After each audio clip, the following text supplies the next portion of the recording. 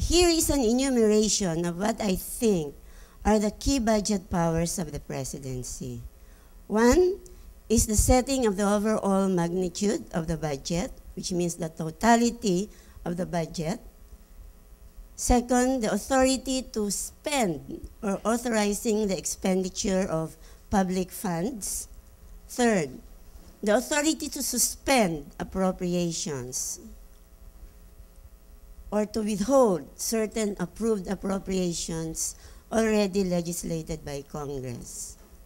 Fourth, the very popular or you might call unpopular use of savings.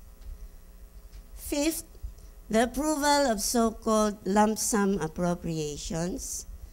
And finally, the President's authority to grant incentives to all personnel of the government in the executive branch.